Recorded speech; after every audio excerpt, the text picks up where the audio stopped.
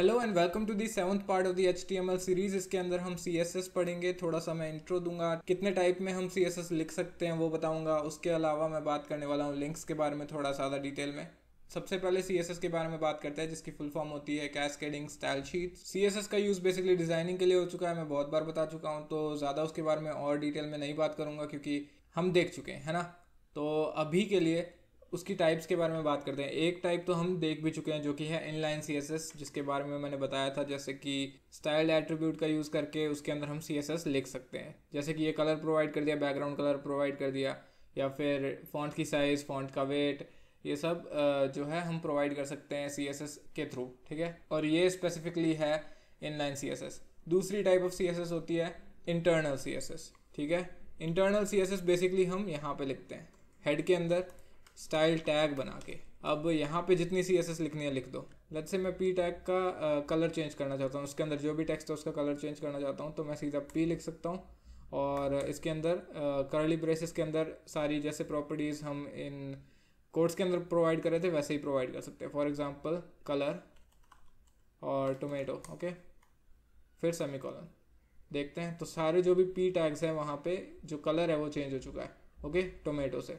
तो इंटरनल सी ऐसे काम करती है जैसे एच वन है। फॉर एग्ज़ाम्पल एच वन है उसका मेरे को कलर चेंज करना है तो एच वन उसके अंदर कलर और लेट्स से वाइट ओके फिर सेमी कॉलन एंड ये हो गया वाइट ओके okay, तो हम इंटरनल सीएसएस ऐसे लिख सकते हैं। एक्सटर्नल सीएसएस के बारे में बात करते हैं तो उसके लिए एक हम एक्सटर्नल फ़ाइल बनाते हैं CSS file okay so for example style dot C कुछ भी नाम रख सकते हो। स्टाइल डॉट सी के अंदर कुछ लिखते हैं। फॉर एग्ज़ाम्पल इस एच टू का कलर चेंज करना है, ठीक है? इस बार हम एच टू का कलर चेंज करेंगे तो एच टू और कलर ब्लू लेकिन चेंज नहीं हुआ, कुछ भी चेंज नहीं हुआ। क्यों? क्योंकि अभी ये एक्सटर्नल फ़ाइल है, इसको हमें इंपोर्ट भी तो करना पड़ेगा ताकि वो यूज़ कर सके। तो इसलिए उसको भी हम यहीं पे लिखेंगे हेड में। स्टाइल के ऊपर लिख लेते हैं। तो लिंक रेल और यहाँ पे style sheet okay H ref और यहाँ पे इसका पाथ देना है ओके तो ये इसी फोल्डर में है राइट तो यहाँ पे मैं style dot C S S provide कर दूँगा। एक स्लैश के बाद style dot C S S अब मैं अगर सेव करके इसे चेक करूँ फिर भी काम नहीं कर रहा है। क्यों? क्योंकि एच टू का कलर तो यहाँ पे चेंज हो रखा है। हमें एच थ्री का कलर चेंज करना था ओके तो यहाँ पे एच थ्री कर देता हूँ। सेव और ये एच थ्री का कलर चेंज हो गया ओके अगर मैं ये लाइन हटा दूँ, ये जो इम्पोर्ट लाइन है, इसे मैं कमेंट आउट कर दूँ अभी के लिए और सेव करूँ तो देखो, कुछ चेंज नहीं हो रहा, क्योंकि वो इम्पोर्ट नहीं हो रही राइट तो इसको यूज़ करने के लिए एक्सटर्नल सीएसएस फ़ाइल को हमें उसे इम्पोर्ट करना पड़ता है और इम्पोर्ट करने के लिए हम ऐसे यूज़ कर सकते हैं। अगर लेट से कोई फोल्डर के अंदर होती, ये फ़ाइल लेट से सीएसएस करके एक फ़ोल्डर है और मैंने स्टाइल डॉट सी उस फोल्डर के अंदर डाल रखा है ओके मूव कर दिया। तो अब मैं इसको कैसे करता? तो मैं सीएसएस और फिर स्लैश प्रोवाइड करता। वी कोड खुद भी हेल्प कर रहा है सजेस्ट करने में कि फ़ाइल जो है उसका नाम सजेस्ट कर देता है जब हम पाथ प्रोवाइड करते हैं तो ऐसे हम प्रोवाइड करते हैं। तो इस टाइप के पाथ को हम रिलेटिव पाथ बोलते हैं, क्योंकि ये रिलेटिव है अपनी जो करंट फ़ाइल है उससे। हमारी जो करंट फ़ाइल है वो जिस फोल्डर के अंदर है, उसका पाथ यहाँ से शुरू होता है। इसके बाद इसके अंदर एक फोल्डर है सी एस एस उसके अंदर एक फ़ाइल है style dot C S S वो हम ऐसे प्रोवाइड करते हैं, ठीक है? तो ये हो गई एक्सटर्नल स्टाइल शीट हम यहाँ पे एब्सोल्यूट पाथ भी प्रोवाइड कर सकते हैं। फॉर एग्जांपल बूटस्ट्रैप एक C S S file provide करता है। इसका मतलब क्या है, मैं बताता हूँ टेंशन मतलब। तो ये रही इसकी मिन फ़ाइल मैं यहाँ पे सीधा प्रोवाइड कर सकता हूँ। देखना कैसे चेंज होगा हमारा, जो वेबसाइट है उसका लुक देखो फॉन्ट वगैरह चेंज हो गया। ठीक है? तो हम अभी यूज़ कर रहे हैं bootstrap C S S और ये हमने इम्पोर्ट किया है इसके एब्सोल्यूट लिंक को यूज़ करके। ओके तो एच में उसका लिंक होता है और रेल बताता है कि ये स्टाइल शीट है।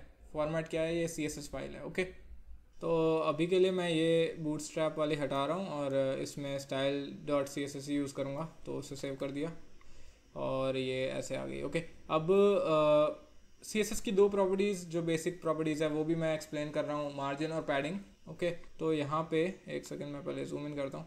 सबसे छोटी जो हेडिंग है या फिर लत से ये एच थ्री है तो एच फोर को यूज़ करते हैं। और उसके थ्रू मैं मार्जिन और पैडिंग के बारे में बताऊँगा। तो एच फोर और मार्जिन इसमें डाल रहा हूँ मैं two hundred P X okay तो देखो मार्जिन आ गई। 200 की जगह चलो 100 ही कर देते फॉर नाउ तो ये इसमें मार्जिन आ गई, ठीक है? मार्जिन का मतलब तो पता ही होगा स्पेस आ जाता है उसके पास। अब मैं मार्जिन को रिप्लेस कर रहा हूँ पैडिंग से। लेकिन हमें कुछ खास फ़र्क नहीं नज़र आ रहा राइट तो अब मैं क्या करूँगा? पैडिंग और मार्जिन तो सेम ही काम कर रहे हैं, हमें ऐसा लग रहा है। तो अब मैं क्या करूँगा, पैडिंग और मार्जिन दोनों डालूँगा, दोनों फिफ्टी फिफ्टी और अब इसमें मैं बैकग्राउंड कलर डाल रहा हूँ एक्वालेट से। अब नज़र आ रहा है क्या डिफरेंस है?